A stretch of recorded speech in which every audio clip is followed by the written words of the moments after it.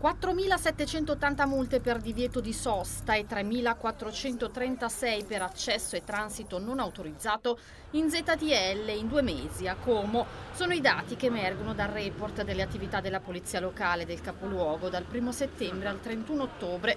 Per divieto di sosta quindi i vigili urbani hanno staccato in media 80 multe al giorno in città, mentre sono in media 57 al giorno quelle per accesso nella zona a traffico limitato. I verbali contestati direttamente al trasgressore per violazioni alle norme del codice della strada sono stati 617.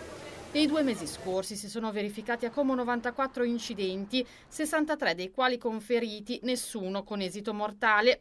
Via Bellinzona risulta la strada con il maggior numero di incidenti, 9 quelli rilevati tra settembre e ottobre, segue via Varesina con 7 sinistri.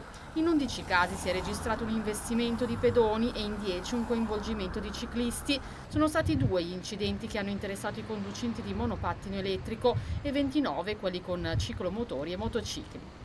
Gli agenti sono stati impegnati in 135 controlli nelle aree a tutela rafforzata, quelle più sensibili dal punto di vista della sicurezza. Le attività si sono concentrate all'interno della città murata, al parcheggio Ippocastano, in piazzale della Tessitrice, in viale Spallino, in particolare nell'area dell'ex chiesa di San Francesco, nei giardini di via Vittorio Emanuele II, in viale Varese, in particolare nell'area antistante la Basilica del Crocifisso e in via Anzani. Sono stati controllati 38 tra esercizi pubblici, attività commerciali e strutture ricettive e sono state accertate 26 violazioni, effettuati anche 10 sequestri di merce venduta abusivamente, elevati inoltre 257 multe per violazioni del regolamento di polizia urbana. Infine sono stati eseguiti 33 controlli tari, la tassa sui rifiuti e sono state riscontrate 11 violazioni.